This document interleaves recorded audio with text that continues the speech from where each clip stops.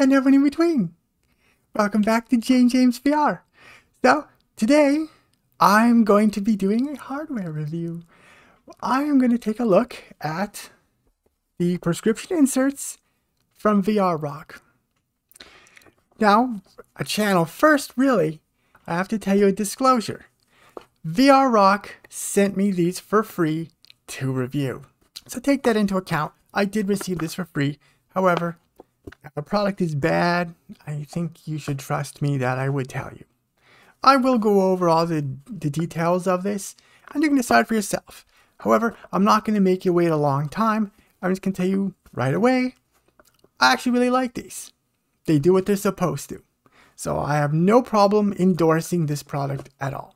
But keep watching, because there are things you'll probably need to know and they will probably apply to any sort of prescription inserts for any Pimax headset. So first off, here they are. Now, these are quite big. But here's kind of the funny part, they're actually not big enough. But these are really big. Here, like look at this. What do you think? Think this is a cool look? Huh? Just go to work like this? What do you think? look how huge these are. And the funny thing is they could actually be huger. VR Rock did ask my prescription and they gave this to me per my prescription. So these are not like plano lenses or anything. And these have the blue light filter and the anti-glare filter. Now they didn't actually tell me this, but it's pretty obvious when I'm having these installed on the headset. I am not seeing glare at all. And that's really good because Pimax headsets have really good lenses. You do not get a whole lot of glare on them especially compared to something like an Index, but even a Quest 2. There's just not a lot of glare on an 8KX or probably a 5K Super, so it'd suck if you got glare. These, I saw no additional glare. So that's really good. Don't know how bad it would be without the anti-glare filter, but I think I'd opt that it's 10 extra dollars for the anti-glare. You don't want glare in your VR headsets, and especially when you're using a high-end headset that has good lenses that don't have a lot of glare, you don't want to add it on later. Now, I did mention a blue light filter. So I'll quickly talk about that. I actually don't know anything about blue light. I'm not an optician. I don't know anything about it. But I'll tell you that these do block blue light, and I'll show you. So yes, initially this is just testing with just the blue light. And then these are through my regular glasses, which do not have any sort of filter like that on them. And of course, lastly, through the, the actual VR Rock lenses, and you can see that very, very little blue light actually gets through. If you want to avoid blue light, then these will certainly do that. So a little bit about these in general. They're pretty sturdy. This doesn't bend or flex much at all. I'm not entirely sure how these are made, but they're a sturdy piece of plastic nonetheless. Doesn't quite look 3D printed, but it might be resin. I'm not sure, but it's sturdy. So I wouldn't, I mean, not that these are the sort of things that would go through a lot of abuse, honestly. You wouldn't be abusing these, you'd put them in your headset and forget about it, right? And the installation I'll briefly talk about. But for now, always a minor paranoia I have is you mustn't ever have lenses touch.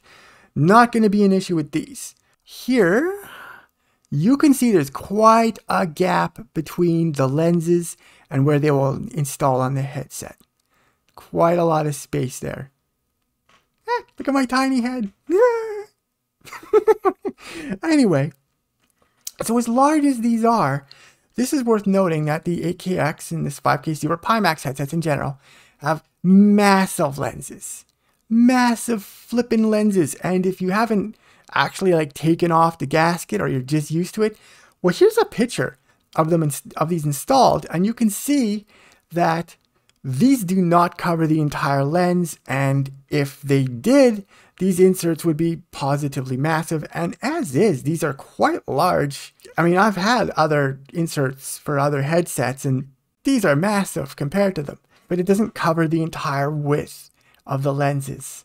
The question, I guess, is, and what we really need to talk about, is how does this affect the FOV? I think that's sort of the thing. As far as like clarity in the headsets with these, very, very good. I did notice some very, very slight amount of, I don't know if I'd call it distortion, but they did change the view ever so slightly. However, I got used to it pretty instantly. but I did notice it doesn't look quite the same picture. It's sort of like, you're, you're, if you're watching this, you're probably a glasses wearer. So you know when you take off your glasses, you notice that things are slightly shifted. When you put your glasses on, everything looks ever so slightly different, right? It's that same effect. Normally, I wear contacts when I play VR. That's what I've always done. These do sort of change, they shift things just a little bit in the same way your actual regular glasses do. It's going to be probably true of any prescription lenses. Just for some reason, it took me by surprise with these. But I got used to it just as quick as you sort of do when you put on your glasses when you wake up in the morning. Or if you, like me, you switch between contacts and sometimes not. But the pitch is good. It's clear, it's sharp, it looks really good. So I have zero complaints there. These are nice lenses. The concern I had, of course, is how jarring is it going to be when you reach the edge of this, when you look to one side and you're no longer looking to the insert lenses and you're just looking at the Pimax lenses at the corner of your eye. And whereabout is that? I think is the important question. And from what I can tell, we'll go by sort of PiTool language here and say that these offer the perfect sharpness up to about 120 degrees. I have I've never I only know of one other company that produces prescription inserts for the 8KX or Pimaxes in general, and that's VR Optician. And people have said that it cut into it quite a bit for those. For these, I would still say 120 is a little less than I would like. I would have liked to have seen these just a teensy bit wider to get you to 140. But that said, it's not jarring. When you're looking through this and your gaze leaves the actual prescription inserts and starts looking at just the Pimax lenses, it's not particularly jarring actually. I was thinking it maybe would be, especially you can see with mine, they are kind of thick. And I suspect that most of these would be kind of thick because my prescription's not super high. You know, I'm about, it varies per eye, but I think my worst eye is negative 2.25. So it's not terrible. Bad enough you could never play VR with it, that's for certain, but it's not a super high prescription, and these are quite thick. And these have a bit of weight to them, I'll point out too. Not excessive though. Yeah, I think that's sort of a concern. If you're playing on, say, small, so 120 degrees, you're covered. You have the entire coverage pretty much. If you're going on 140 normal, then it will cut in a little bit. And at 160, it's not super noticeable actually, because you sort of get blur on the edges at 160 between, I think the last like say 10 degrees on left and right sides at the large FOV tend not to be super clear in the first place. So having those be not particularly clear because of this not being there isn't really a huge issue. So I would say it's really at 140 where you sort of notice it, but it's not jarring. There's not actually like a line I was consciously aware of. It just sort of became less sharp there not that different from using fixed foveated rendering. And if you're already using something like fixed foveated rendering, actually you kind of don't really notice that much because you're sort of expecting that anyway. An issue I had with some of these is that the lenses, the actual inserts, can stick out too far. I particularly had this issue with the prescription inserts for my old index. It was so uncomfortable. It was unbearably uncomfortable. It sliced into your face. Now these are gently sloped, so it won't cut into your face. But I'm going to say this, I am using a 15 millimeter, the thicker foam, and I'm using the, the PU leather one, although I don't think it would matter. But I do notice on Pimax headsets, your eyes are quite a bit farther away than they are with other headsets, particularly something like a Quest 2, where you really want your eyes as close to the lenses as possible. Same applies for something like an Index. But on Pimax, they're not made like that. Their FOV isn't generated by having your eyes really close to the lenses. They're generated by the fact the lenses are flipping massive. So your eyes are actually farther away in a Pimax headset than they are in most others. And as a consequence, this does not mean much at all, even though it's quite thick right? This looks quite thick. I'd be very surprised if you felt these touch your face at all. And here's another little interesting thing. I was actually quite concerned about this. It's pretty rare, but I have a Droolon Pi eye tracking module. I did a review of them a little while ago. And to install the Droolon Pi, you have to put on uh, a sort of a thin little metal bit. And I'll show you a picture here. So you can see that little metal ring around the outer edges of the lenses. I was worried that I would have to remove those to get these to fit. To be honest, they go to the exact same place, right? Now, obviously, you cannot use your Droolon Pi as the, at the same time as these. They do go into the exact same place. But my concern was if I remove the Droolon Pis, they don't typically use them, that those metal, the little metal brackets would prevent me from getting these installed correctly. But no, as you can see, I have them installed just fine. It was not an issue. You just can't use them both at the same time. So if you are going to get a Droolon Pi module, or you're thinking about it, and you wear glasses, you're going to have to get contacts.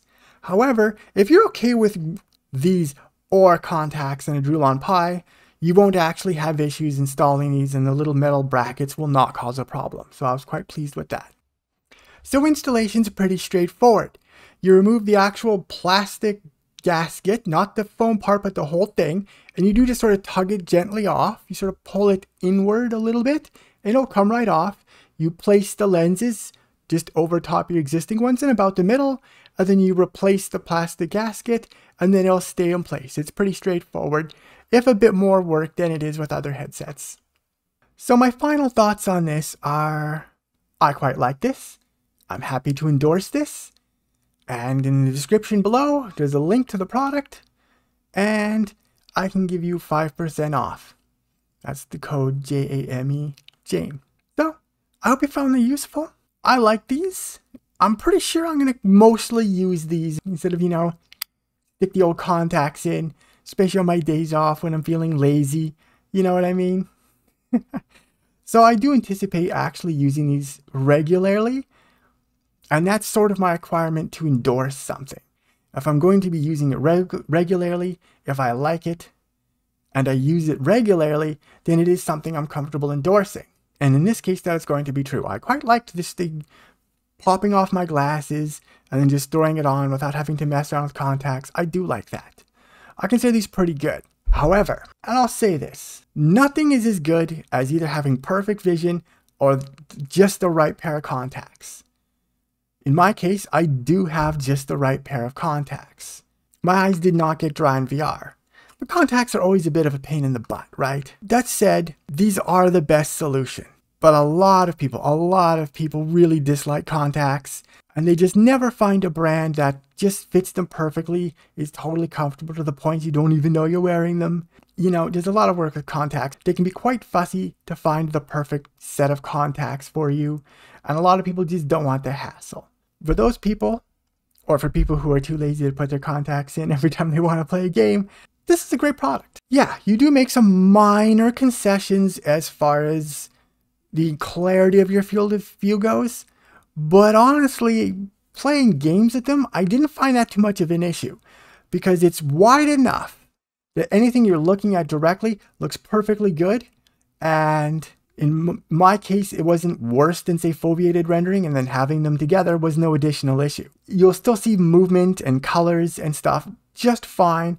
There's not a significant line where you notice that it's off the lenses, so to speak. So I find this totally acceptable. And I think that was a lot of concern with these sort of things is is it noticeable when I'm gaming? Is it sort of jarring where there's like a clear picture and then note a line and then noticeably blurry? It's no worse than say using foveated rendering. And again, even if you're using these and foveated rendering, which at that point you may as well, I always actually recommend you use foveated rendering anyway. It's three frames per second pretty much, isn't it? So yeah, I quite like these. I'm going to be using them regularly, and I have no problem endorsing these. All right.